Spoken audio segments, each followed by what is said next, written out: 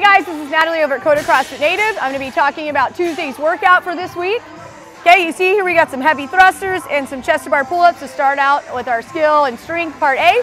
So I would say your um, warm-up today is going to be 10 to 15 minutes. Five minutes, maybe some general prep, get them nice and loose. And then you need to get a little bit more specific. Let's really go over thrusters. You can talk about, you know, is your group going to do a power clean and then go into their thrusters? Talk about the squat clean, catching in the bottom, and then driving out of the hole that way. And you can do that in kind of a specific warm-up up here. Okay, same thing with the chest bar. Let's make a plan in the warm up so that way they have good working sets here and they're sets of five. So in the warm up, five minutes, a little bit of general prep stuff, and then get a little bit specific. Go over the thrusters and then have a skill session set up. Work on those kip swings, maybe get a barbell out on the rig and really go through their hollow positions and things like that.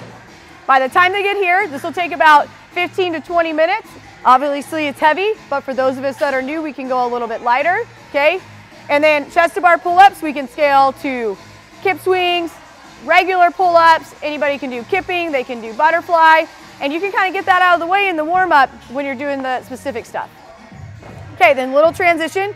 We have our pacing workout today, and really talk about this today. What does pacing mean? You know, we want nice even rounds, maybe they get faster as they go, but we don't want them tailing off on that last round. So a good way to do that is to have them get their phones out, keep track of their lap times, and then also have them make sure they choose the right weight here. So let's go through this. Four rounds each for time, 350 or 300 meter row, 16 dumbbell push press, 16 dumbbell squats, and then they get to rest 30 seconds, just kind of like a little bit of a reset, and then they go back into that round. Okay, so this push press and dumbbell squats, they should have a chance to go unbroken, but maybe they break it up for pacing purposes.